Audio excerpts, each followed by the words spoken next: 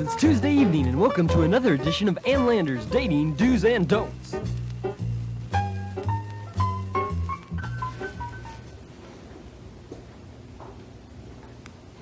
Hello, young daters, whoever you may be. Our first letter comes all the way from Bowie, Maryland. It reads Dear Ann, is it okay if two kids sit together on a couch, even if they don't plan on getting married? At ease, youngsters, Ann says it is perfectly all right for two youngsters to sit on a sofa together as long as the sofa doesn't fold out into a bed. Seek counseling.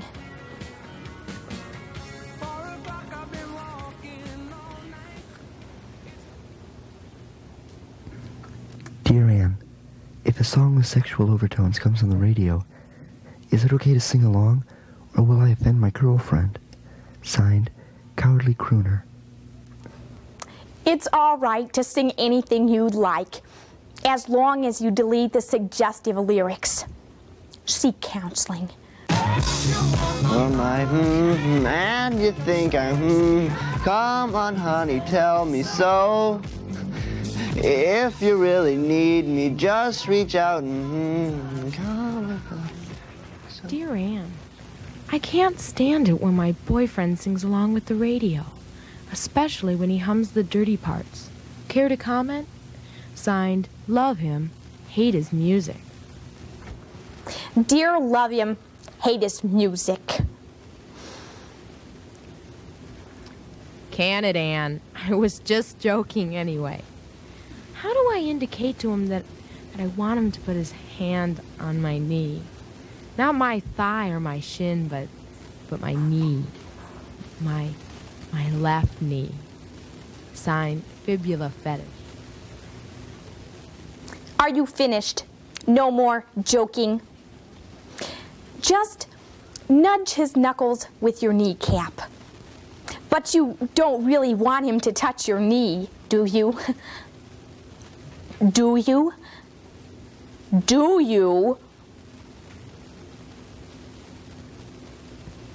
Dear Ann, I'd like to put her kneecap on my knuckles. No, wait, no. I want to hold her hand, but my hands are sweaty. My skin's like a freshwater salmon. What do I do?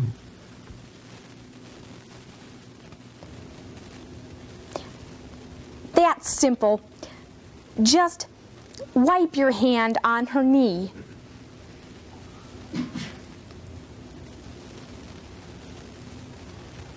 Uh, uh, uh,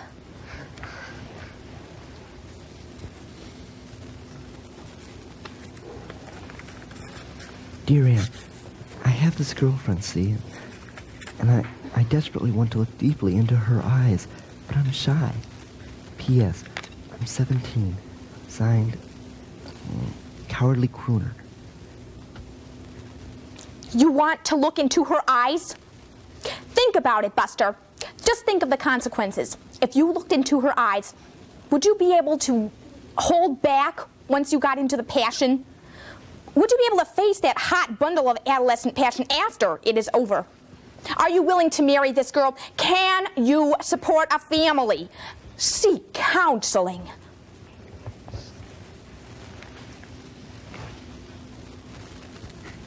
Dear Ann, when when my boyfriend is staring at me, I get I get this funny feeling in my stomach. Am I in love? Signed, wondering. You cheap, sleazy broad! After all my advice, you're just asking for trouble. You'd just love to get pregnant, wouldn't you? I'll never understand the younger generation. Where are the parents? Here's what the Pope has to say about teenage promiscuity. Wow, just terrible.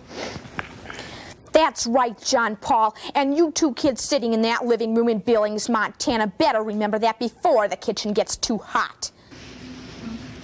Dear Ann Landers, I really love this girl, and I was wondering if we were really careful, Uh-huh. and we talked about it beforehand, and we, we were really careful. I was wondering, would it be okay if, if I, you know, put on her earrings?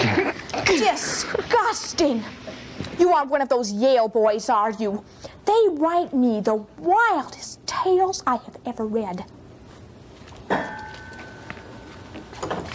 My gosh and my golly, Dolores. Should we walk in on those two kids? I don't know, Hal. Hmm. Dear Ann Landers, I never thought I'd be writing to you, but well, here I am. When my wife Irene and I, not our real names, came home after a movie, A Change of Seasons, not its real title, and found our daughter Sherry, also not her real name, and her boyfriend Phil, his real name, the rapscallion, together on the couch. Should we have avoided an awkward situation, or should we have walked right in on them? It's our house, after all. Sign me, Puzzled, in Tulsa. I cannot understand you spineless parents. Of course you should walk in on them. Wake up and smell, smell the coffee. Lay down the law. You let them know that you don't approve of their adolescent experiments, especially when they take place on a couch that isn't even paid for.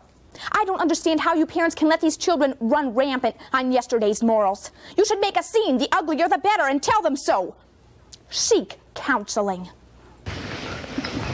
Two, disgraceful! You there tucking your shirt and comb your hair? Young ladies, do not cross their legs or chew gum. Dear Ann, if I gave you 10 bucks, would you go out to a movie and leave us alone? What's the movie rated?